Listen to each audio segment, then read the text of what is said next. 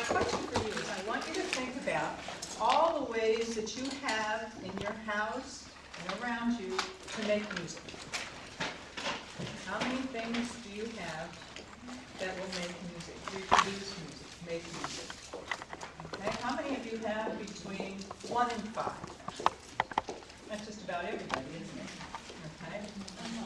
How about between five and ten? Right, don't forget car radios, computers. Okay, any of the radios that you have in the house, so how many between five and ten? That's probably pretty much all of you. And uh, how about between ten and fifteen?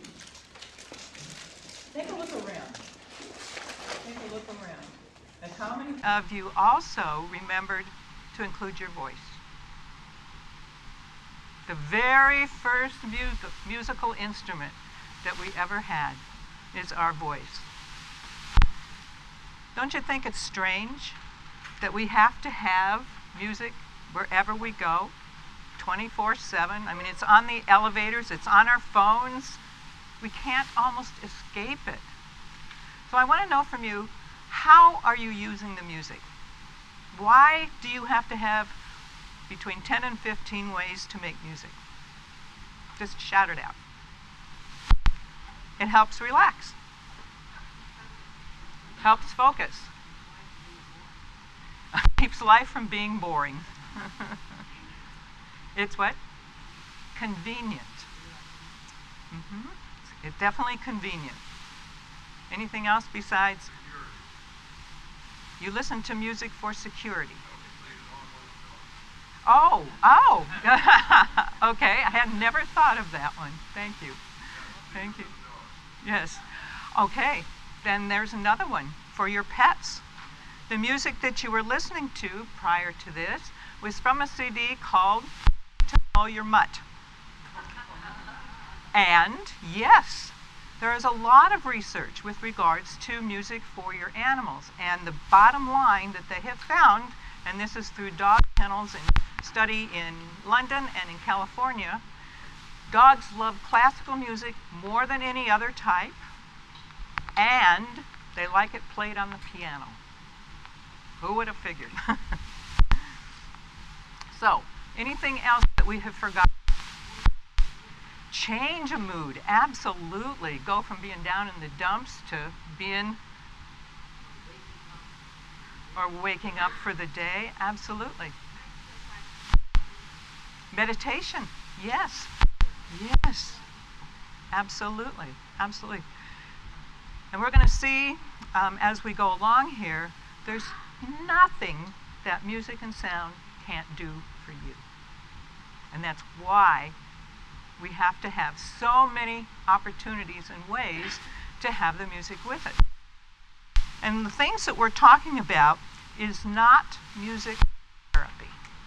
So we need to get these definitions down right away. Everything you've been doing for yourself, everything that you've been doing for your friends or for your patients is called a music intervention or using music as therapy. And I'll get into some distinctions in just a minute.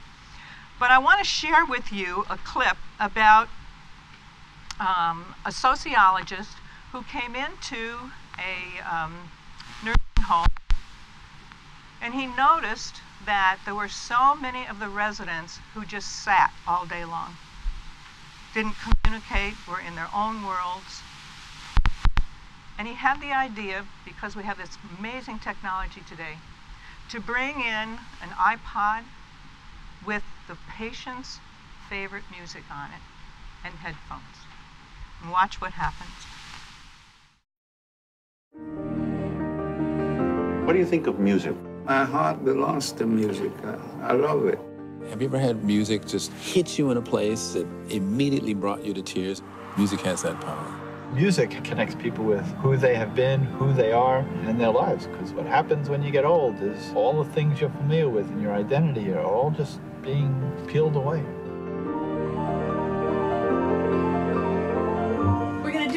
We're going to do your medicine. Our healthcare system imagines the human to be a very complicated machine. We have medicines that can adjust the dials. Blood pressure, oh, turn that down. Blood sugar, oh, turn that down. We haven't done anything to touch the heart and soul of a patient. One resident that barely opened her eyes, she didn't respond. Knew her for two years. Once we put the iPod on her, she started shaking her feet. She started moving her head. It was amazing. Music has more ability to activate more parts of the brain than any other stimulus. Who am I? Huh? Who am I? I'm your daughter. By exciting or awakening those pathways, we have a gateway to stimulate and reach somebody who otherwise is unreachable. it oh. get away from me if I'm in this place. It takes me back to my school days. Oh God, that's that's beautiful. Does it make you happy to sing for us? Yeah. I'm crying. Every human being needs stimulation from the outside, from little babies to old people. American culture is wrong. There is actually life beyond adulthood. There's the opportunity to live and grow and become elders. The aging that we experience holds in it very important learnings and lessons. There is no pill that does that. Excuse me.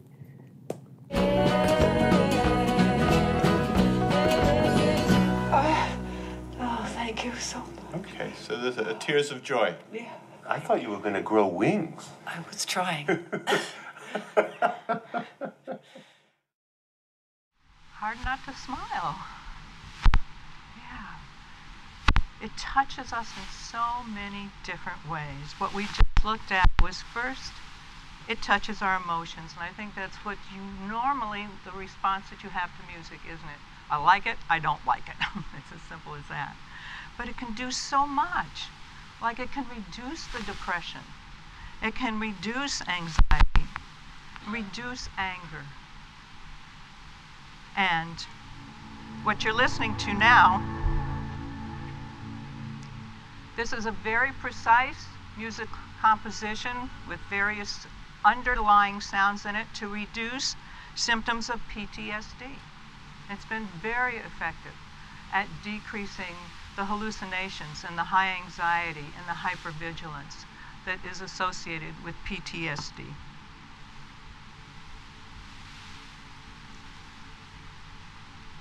You also saw on that clip that music can really touch the spiritual part of us. And from my perspective as a psychologist, that's the most important part of us. Increase feelings of well being and connect to a higher power, instill a sense of peace, and assist in the final breath in releasing. And someone here also mentioned it helped with focus. Yes, there are certain specific pieces of music that really help us focus more than other pieces. So, focus and concentration. This particular piece is exceptionally good for that. It's called Remembrance. And when played in classrooms with children who have behavioral issues and issues of not being able to focus, they're able to sit down and actually get into their work and accomplish things. And if the teacher forgets to put it on, they go over and put it on because they can feel the difference.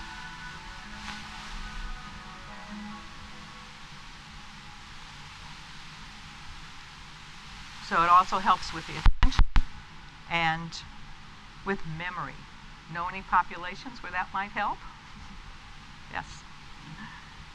So looking at a grand chart here of how music affects us, all four parts of us, you all know about emotions. You do that so beautifully by yourselves. But do you realize that if something is affecting you emotionally, there is also a physiological response going on in your body? You can't separate it out. Something is also changing physiologically. And I'll talk a little bit more in depth about that in a minute. In your mind and your spirit. And what's so interesting about the world today is that we think we're the first ones to have discovered all this. And yet, every single population on our planet, every single culture has used music and sound. They've given it a place of honor, and it was considered a religious and a moral force. In ancient Greece, you had to study music, mathematics, and science, all three. If you wanted to be a doctor, you had to study all three. I imagine you haven't um, heard from your doctor that, remember Hippocrates, father of medicine, used to send all of his cases to the Temple of Asclepius for music therapy. So it's ancient, ancient, ancient. And we're just coming back to rediscovering all of this wonderful ancient knowledge. For instance, they knew that specific instruments playing specific notes would have specific changes in your physiology. And they didn't have all the technology we have today. Well, what is this thing called music that can do so much and that we spend so much money on? Well, I went to the dictionary. It's the art of organizing sound to elicit an aesthetic response in the listener. It's sound. And what happens in your brain when you listen to this organized sound? So we have a piece of music playing. It first comes through all of your magnetic, electromagnetic fields out here before you even get to your ears. But then once it gets to your ears and goes into your brain, look at all the various places that it touches. It touches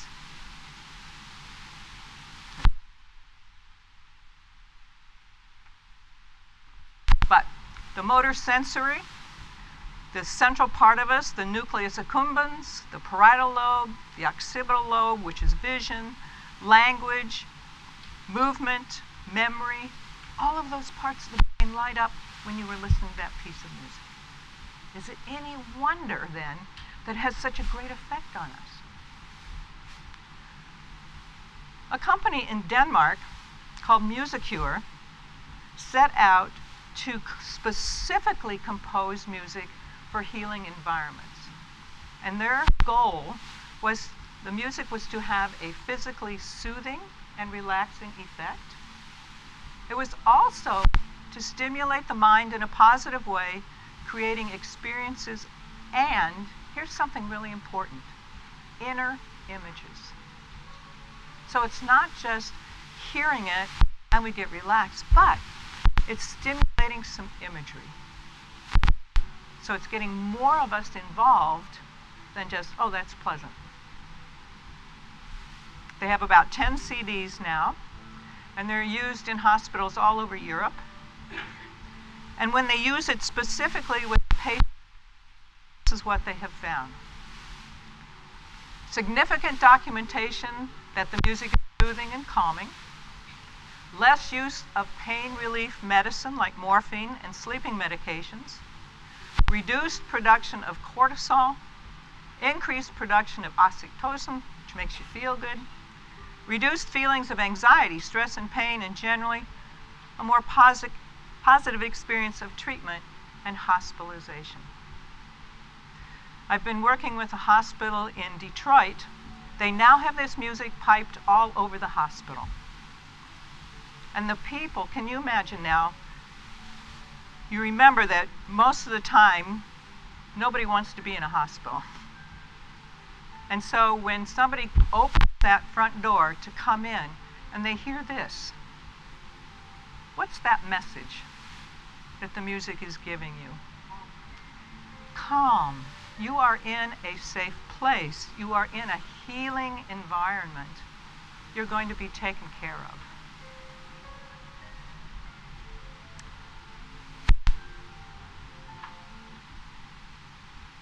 Hate to turn it off, huh? So all of those things that we've just been talking about, things that you do for yourself, things that you do for others, are called music interventions or using music as therapy. Okay? Well, the next category that people loosely throw out when they're using music is music therapy.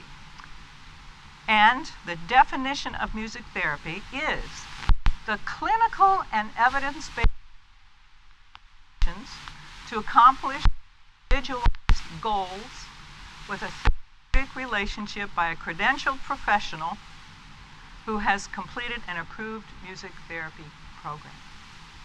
So, in other words, music therapy is only done by somebody who has a degree in music therapy, and they're very touchy about this. so, just to educate you. The goals of music therapy are quite extensive, and they have a background in psychology and music, to communication, to improve behaviors, to reduce depression, reduce trauma and fears, to improve motor skills, to improve social skills, to support group facilitation. It's a social outlet for patients in long term care and support for families of terminally ill patients. So it's a quite extensive list of what they're trained to do. So we have music interventions. Now you know what music therapy is, technically. Come to the third one, which is what I do. When I've been a musician my entire life, and I really wanted to work with people in a hospital. And the time when I wanted to do this, music therapy was not going in that direction. They were still in institutions and um, would not even entertain going into hospitals. So, and they also were not uh, insurance reimbursable. So I got my doctorate in psychology, which allowed me to go into hospitals. So I could focus on this category, which wasn't even one then at that time, it's music medicine. Music medicine is the very intentional use of very specific music or sounds to affect a change in physiology or emotions and the transpersonal. This means that we can use specific music, specific sounds to increase all of these things. And so here's where you have to go really? Music and sound can do all this? Yes. You have to switch your thinking that we're not just chemistry, we're also energy. And music and sound is energy.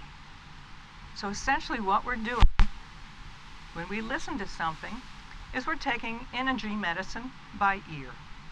And so all of you have been doing this, self medicating yourself for decades, haven't you? with, with music medicine, we're doing it very, very intentionally. We can also decrease all of these things with specific music and sounds. And there are no side effects. That's even better. And to top it off, most of the time it's very pleasant, but not always. Not always. But it won't be anything like the side effects that you take from medications. Nothing. So, physically, just as an example, some of those things like reducing tension, reducing pain. This particular piece of music has been found extremely effective at reducing pain, chronic pain. I worked in a chronic pain clinic for a number of years, and I saw this article in the Journal of Music Therapy. And they had used five different pieces of music to reduce pain levels in people with chronic pain. They used a piece by Debussy, so that's classical music. They used jazz. They used rock and roll. They used patient choice. And they used this minimalist music. So I read the article, and when it came to the fact that it was minimalist music that made the most difference, I just couldn't believe it. I'm a classical musician, and there's just no way. So I went to the library. You know, I'm, I'm keep an open mind. I went to the library. This was before wonderful internet. Um, found this particular piece of music, put it on, put on my headphones, and I said, give it a chance.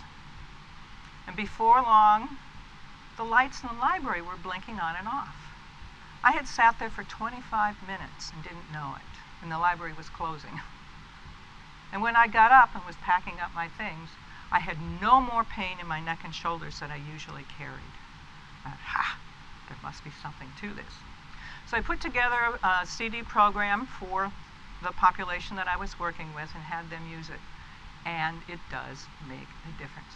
Now, from the logical minds of where you are sitting right now and listening, no, you would not choose this to listen to for fun. But that's not what we're talking about. We're talking about using these specific sounds in those specific patterns for a specific reason, which is to decrease pain.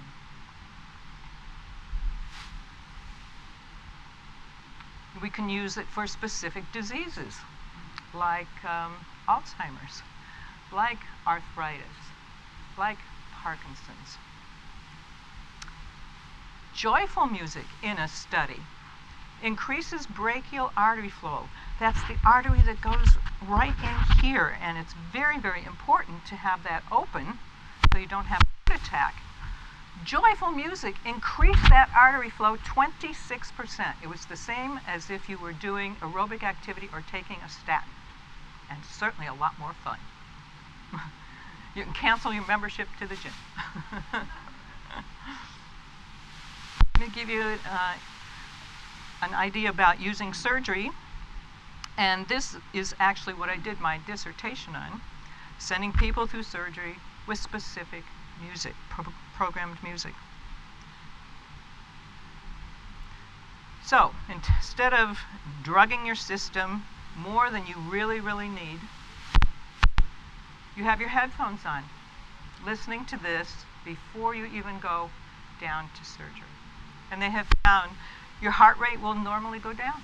Your stress hormone levels go down, your respiration rates go down, your anxiety goes down, as much as taking the drug diazepam. Much better than laying there thinking all the thoughts you could think of before going into surgery. A system that I then later changed into actually used um, something different. Let me get a minute. Um, during surgery, yes, you would have your own headphones on. The surgical team needs their own music for keep them mentally focused, but you need something totally different. You need to stay in the zone of relaxation so that your body evens out and balances and can accept what's going on. So when you do that, your blood pressure goes down, heart rate, stress hormone levels, respiration, muscle tension, pain meds, need for pain meds goes way down, and the amount of anesthesia needed.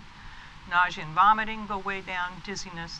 Your hospital stay much shorter, and there's a 50% increase in growth hormone, which is good for your recovery. So the system that I now have changed into is one that has both specific sounds in it and a guided meditation. Because I'm finding that the combination of guided meditation and the right sounds and frequencies are much more powerful than either one of them by themselves. Because you are enlisting your inner healer to help instead of just going, fix me. So, this is what it sounds like for in surgery.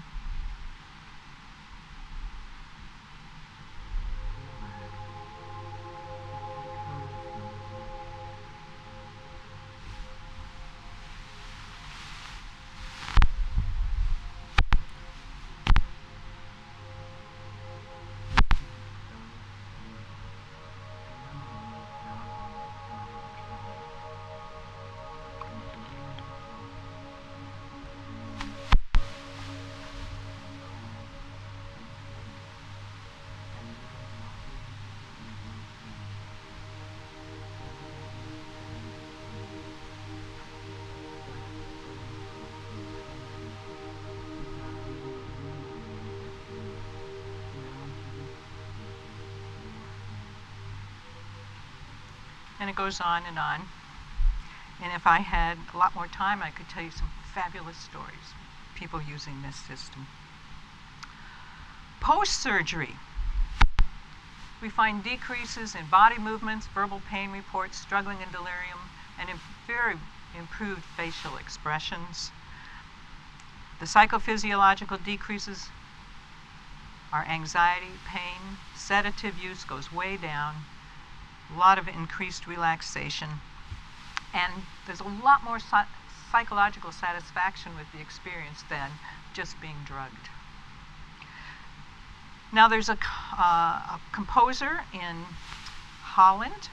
His name is Peter Hübner, and he began composing music for his friends because they had particular ailments and they asked him. And um, what interesting thing happened was they began to get better by listening to his music. And in Germany, the doctors, uh, when they asked the patients, What are you doing? they said, We're listening to Peter's music. And they said, I want to meet Peter. And they began to approach him and ask him, Well, you've had such good results with this music that you made for, let's say, cardiology. Would you make one for um, hormone issues? Would you make one for Parkinson's? And he said, I'll do it on one condition. It takes me months, sometimes years, to make these compositions. He says, I will do that if you will do the research and show that this is effective before you put it out there. So they agreed to do that. This is the list now of all of the preparation, musical preparations that he has made and that has scientific research behind showing that it's effective. Now, what's so interesting that followed from that is in Germany, these are only sold in pharmacies, 26,000 pharmacies. They are prescribed by the physicians, and insurance pays for it because they have a law that says if you have anything that works as good as a uh, pharmaceutical, the insurance has to pay for it. Wow. exactly. Here's an example of the one that's um, for cardiovascular.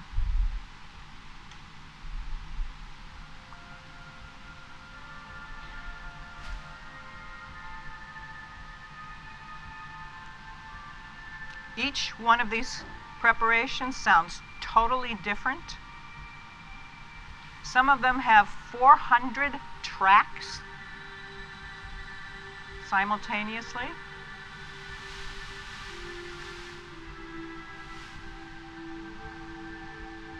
And they're very prescriptive. You need to listen to it at least twice a day for 20 minutes at a time. And you need to listen to it for 40 days in a row. And if you miss a day, you have to start over. so I purchased some of these and did a study with Americans.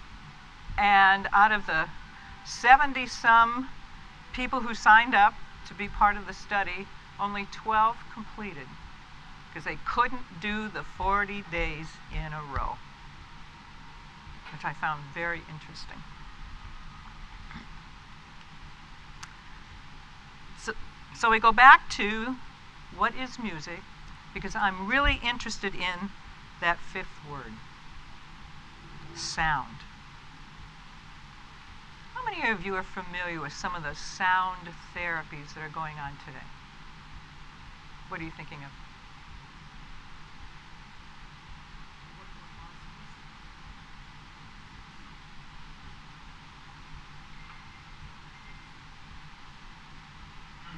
Okay. I think you're thinking things like ultrasound and ultrasonography.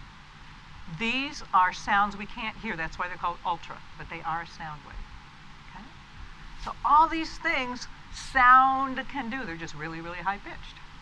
Okay? It's not music. Ultrasonography, you're familiar with that. And I want to tell you and remind you that every single person in this room has had sound therapy. Every single person. Can you figure out when that was? And you all had it at the same time. Say it louder. Exactly. In the womb. That was the first time we had all that sound. Absolutely. We start hearing at 16 weeks, and this is what we hear. And it's with us that entire time. It's our first introduction to sound therapy. And we know that when um, babies are born prematurely, they have not had their full dose of these sounds. So, uh, a colleague and I put together a program specifically for babies, one of which is for premature babies. And a hospital in Connecticut picked it up and did a study with it. The babies listened to a particular program, I'll tell you about in a minute, three times a day. They had a little strip with speakers in it inside the incubator, the isolette, so that they could hear it. They had increased oxygen saturation levels, faster gain, longer quiet periods of time, and got out of the hospital much faster. On the CD were things like the intrauterine sounds, the mother's heartbeat, uh, very specific frequency to encourage growth. You can almost hear it there. And a beautiful music that was specifically composed for it, and a welcome message to the baby. So this would be the music part.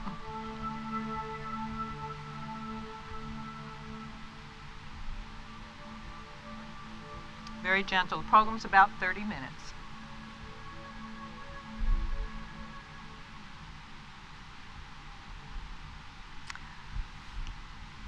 Post surgery, this little guy had been flown to Massachusetts from Alaska for open heart surgery. And we sent him a little speaker down here. And in the iPod was loaded um, our chakra program. We now use pillow strips. The doctors were absolutely astounded at how quickly this baby healed. So it's for any age, isn't it? Speaking of those pillow strips, I do need to take a little sidetrack here and talk to you about how are you going to get your music medicine. The one way we do not want you to get it is through earbuds. So please throw them away. What happens is unconsciously we have a tendency, because it's in our ear nothing's closing out external sound, unconsciously we're turning it up higher than normal. And there are several studies now showing that people who use earbuds all the time have decreased hearing loss. So if you want to really put some uh, interesting and growth stock in your portfolios, hearing aid companies. We're all going to be on it. These are wonderful bands that have speakers in them that go right over your ears. Um, this is a very inexpensive but excellent quality headphone. It has a little um, volume control in the line. It's about $19 online. Pillows with speakers in them and pillow speaker strips that just slide right into your pillow. Uh, this is um, another way you could get your sounds, and this is true. This is a toilet. And what's so interesting about this toilet is they have a built-in music player and presets for each listener. I mean, it's gotten to be quite the obsession, hasn't it? That you have to have music wherever you go. This is really the best way to get your music medicine, which actually goes back to how we got it in the room through our entire body. This is called vibroacoustics therapy. These cushions, chairs, um, beanbag configuration up there all have a specific kind of speaker in it called a transducer. It translates the electrical energy from the CD or whatever into vibration. It is incredibly pleasant. The first one I had was a mat. And it, it, I mean, it did a good job. The only problem was nobody wanted to get off it. And so then I got a recliner so I could get people up and out. Vibrotactile stimulation. Now, the National Institutes of Health has done a study using vibroacoustic therapy, and they have found in one session, one 30 minute session, more than 50% decrease in tension, just about 50% in fatigue, pain went way down, headache, depression, nausea, and other. One 30 minute session, approximately 50% in all those categories. Aside from, nobody wanted to leave it. Vibroacoustic therapy post surgery on infants. They had a little pad in the isolate, isolette for premature infants. They spent more time in a well oxygenated state, less time in a highly agitated state, and longer periods of time in a quiet, alert state. And just briefly, well, how come this works so well? It's because our brain stem, one third of it is devoted to tactile stimulation. Is there any reason why we love to get massages? We love being hugged and touched? Because one third of our brain is devoted to that. So you combine that with the audio, pretty good. Vibroacoustic therapy, now we get into the specific sounds, and you have to remember we're more than just molecules. We are energy. Vibroacoustic therapy takes pulsed, low frequency tones, and you play it through the bed or the chair. You can listen to it through headphones. Sometimes it can be combined with music or nature sounds. See if I can get this to play. Okay, what you're listening to is 40 hertz. That's a specific uh, frequency, and it has been found effective with children with autism. It helps your digestive system. It helps with insomnia, reduction of blood pressure, circulation deficiency, and stress induced depression. That's not all. It also can reinforce the thalamus. It's a potential intervention for stroke and Alzheimer's, for a wide range of anxiety. Just that one tone. So specific. For Parkinson's, this is a program that's been found effective, and it does have, amongst other frequencies, the 40 hertz in it. This is composed specifically for Parkinson's.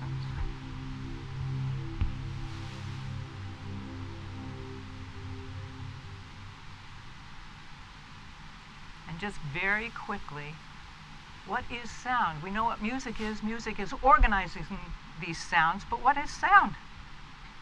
very simply, because we don't have a whole semester, it's energy. Sound is energy. Couple of fun facts. Sound travels four and a half times faster through water than air. We are 70 to 80% water. Sound travels fastest through dense objects. Travels the fastest through a diamond. We got lots of bones. It will travel through your bones. but human beings are matter. So how can that work? Ha. Max Planck, physicist who got a Nobel Prize, said, in reality, there's no such thing as matter. Each and everything is composed of oscillation or vibration. So therefore, we're energy. Sound is energy. We're energy makes perfect sense to use sound then, doesn't it? So as a wrap up, we can use sound and music specifically to change emotions, our mind, affect our body, and to touch your soul. So I'm going to leave you with a couple of sound thoughts. Szent-Györgyi, physician from Russia, who's a Nobel Prize winner, said, treating humans without the concept of energy is treating dead matter.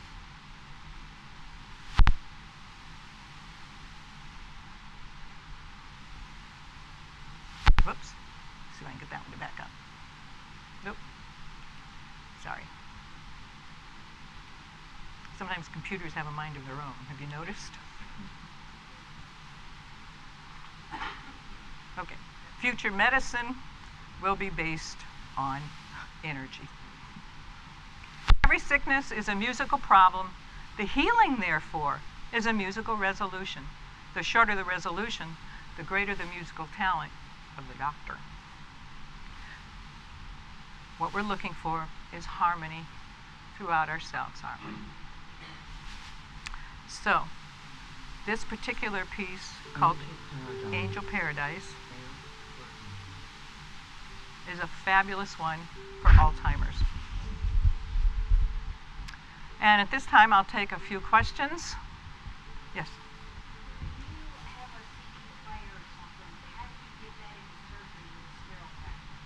It works.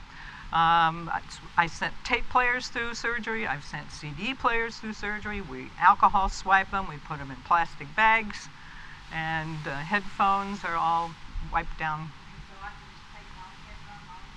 You can. You can. And you tell your doctor. And if you need um, all the body of research, let me know and I'll send it to you. I worked with uh, two sets of surgeons at different times. And all of their patients were noticeable because they had fewer complications and they were out, the, out of the hospital faster. It was amazing. Other questions? Yeah. I do. I do. I'm in Walland, so it's close by. The last two tables over here have a lot of information about uh, my practice, about some CDs that I've made, and lots of propaganda. Other questions?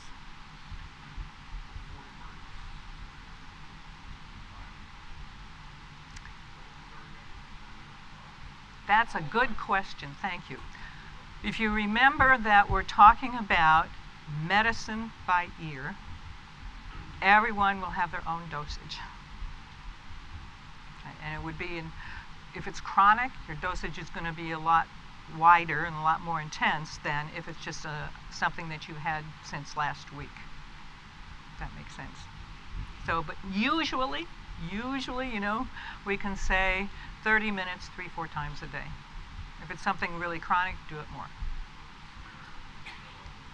Yeah. Yep. Exactly. Exactly. Mm-hmm.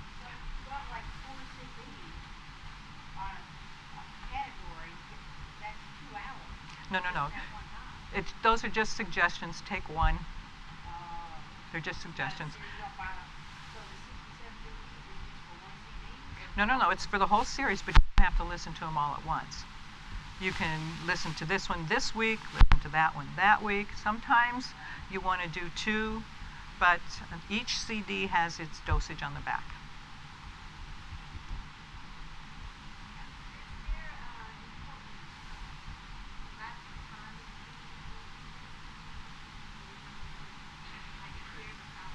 Yes, yeah. There are some medications you don't want to take with other medications, and so you do. You want to leave space. Yeah. And a lot of these CDs you can listen to, you know, while you're reading. We don't suggest in the car because the engine vibration oftentimes will interfere with the vibration that's in the program or make you so relaxed that. Anything else? Well, thank you so much for being such a wonderful audience. I really appreciate it. Thank you.